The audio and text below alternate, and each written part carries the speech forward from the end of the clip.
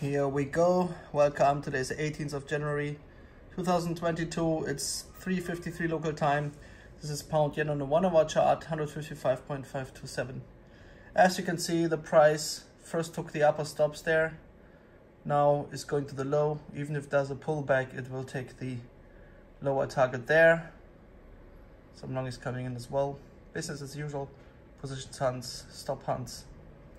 By now, we all know how this game works. All the best.